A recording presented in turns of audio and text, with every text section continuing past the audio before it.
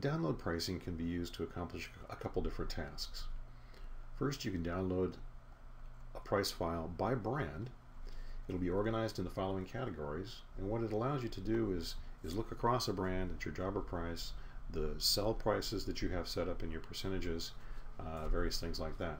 The second um, option would be to make changes to that file and upload price, upload it, which would upload uh, static pricing for your site. Now to download, it's as easy as selecting the brand that you want to look at, hit create download file, click on the link that appears, and it will ask you, you know, to open in Excel, which would be really the, the, the, the uh, chosen platform to view that file on.